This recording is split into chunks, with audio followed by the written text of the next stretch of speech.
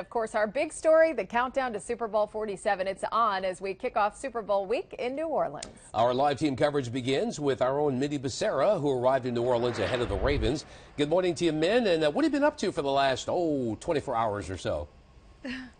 We've been having a great time, Stan. First of all, take a look behind me. That's the Superdome. Isn't that a cool looking building? I just love it. Of course, that's where all the action will be six days from now. We arrived yesterday afternoon. I have to tell you, getting around was a challenge because keep in mind, Mardi Gras is happening right now, too. So lots going on in this town right now.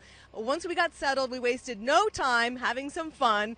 We headed over to the NFL shop that's set up inside of the convention center. You can get all kinds of memorabilia, including some customized items like a football with your picture on it.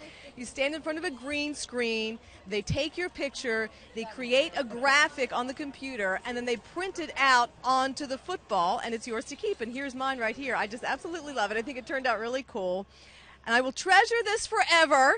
I'm sure this is just one of the many mementos I will be collecting throughout the week. We'll be live here all week long, bringing you Super Bowl coverage. Reporting live in New Orleans, Mindy Basara, WBAL TV 11 News. Very quickly, Mindy, show me your passing form. I got to see. Get get the passing form there. Can you like you're going to pass the ball? Oh, I have to switch hands. This is my left hand. Oh, okay. Work. All right. Then that would look ugly, wouldn't it? oh, wait, wait. Here we go. There we go. I just hit my photographer in the All face. Right. She's good. All right, man.